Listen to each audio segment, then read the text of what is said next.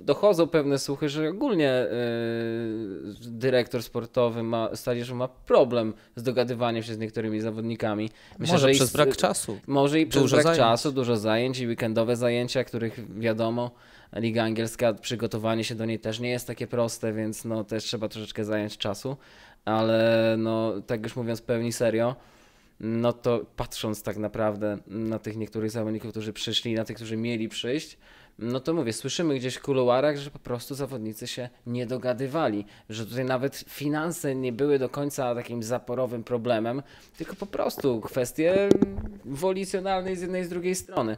I mam takie czasami wrażenie, że wizja e, dyrektora sportowego Fojuta jest no, jakaś taka troszeczkę z kosmosu, bym powiedział.